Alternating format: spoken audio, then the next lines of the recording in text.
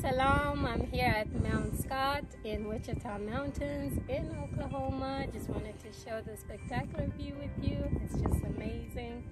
Uh, really, I mean, all you see is beautiful nature. If you get a chance, check it out.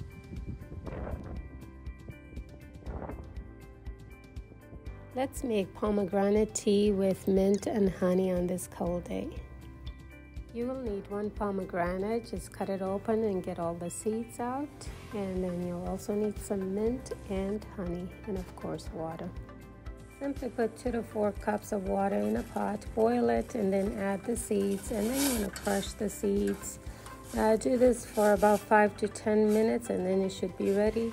You can obviously use the uh, juicer to, to get the juice out and then simply warm it up.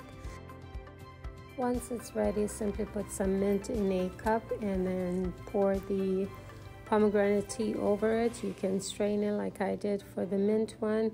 And I also had another cup where I included the seeds, and so it's a very pure way of having it. To the mint one, I also added honey, and you may add sugar or nothing at all.